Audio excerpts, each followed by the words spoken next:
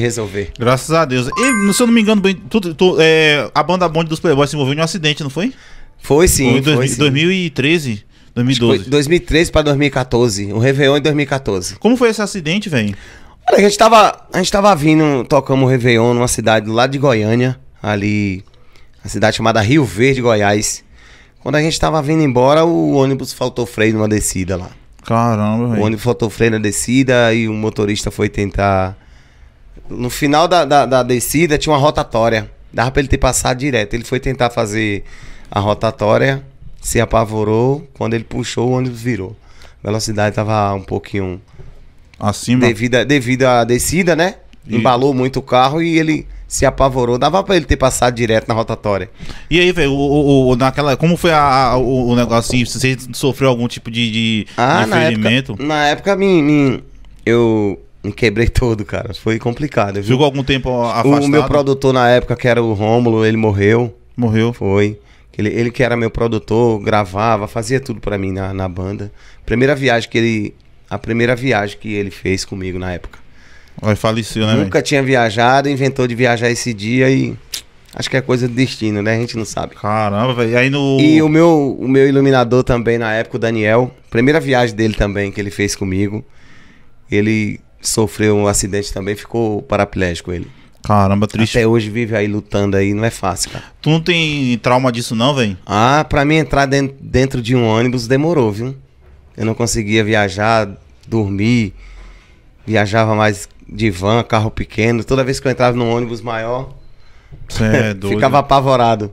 Na época também, claro que o maior prejuízo é tipo pra quem perde a vida e pra quem ficou paraplégico, né, velho? Mas também pra tu também, acho que a questão do, do, do prejuízo foi maior, né, velho? Ah, com certeza. A gente atrapalha tudo, né? A gente toma prejuízo financeiro, prejuízo. Em tudo, né? De tudo. Psicológico, Psicológico, abalo psicológico. Naquela época ali a gente tava com muito projeto, tinha muita coisa marcada, muitos shows.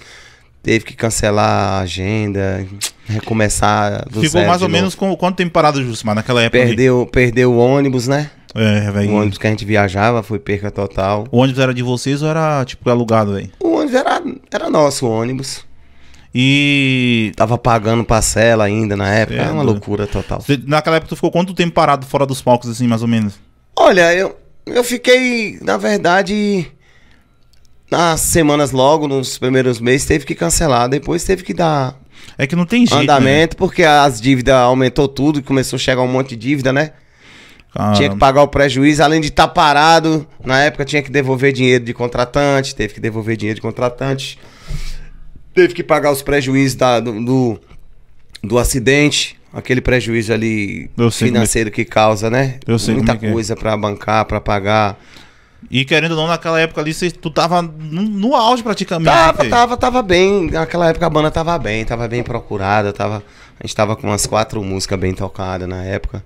O povo tava procurando muito. A gente tava tocando Brasília, tava tocando Goiás, tava tocando São Paulo, tava tocando Minas, tava tocando Paraíba. Várias regiões a gente tava, tava rodando bem. Minas Gerais mesmo a gente tinha muitos shows. Bahia. Aí teve que dar uma recomeçada de novo. É, começou- Muitos, muitos desanimaram, que tava do nosso lado ali, somando, ajudando. Muitos desanimaram, saíram fora, pararam. É que é quase que impossível o cara não desanimar, né, velho? É, com certeza. Começa a lembrar das coisas, né? É, que passa. E a vida nossa, Emerson, mesmo, às vezes quem, quem é nosso fã, a pessoa que curte nosso trabalho, que é o nosso fã mesmo, não tem nem noção, às vezes, o que a gente passa nos bastidores, né? É, eu- já fui em alguns bastidores de show e eu sei muito bem como é que funciona. Ali na hora do show, ali é uma loucura, nos bastidores do dia a dia, investimento, trabalho, tudo é gastando muito, não é fácil.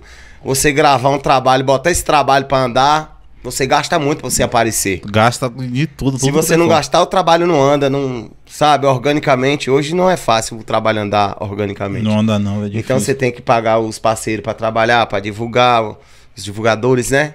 Exatamente, velho. Aí sempre tem aqueles que dá aquela força, da- que, que dá aquela moral pra gente, vai na amizade, divulga a gente na amizade, posta na amizade, dá aquela força. Mas a maioria hoje não, É não mais faz no- isso, no- né? na, na questão do cash, né, É velho? questão do dinheiro, tem que pagar pros caras se animar pra trabalhar. Mas, mas, Jusimar, deixa eu falar, na época.